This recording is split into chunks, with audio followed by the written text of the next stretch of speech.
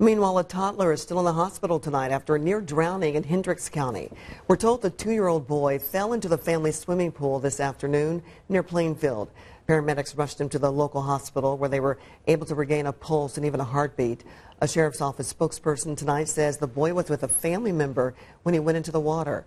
The near drowning is still under investigation. Couple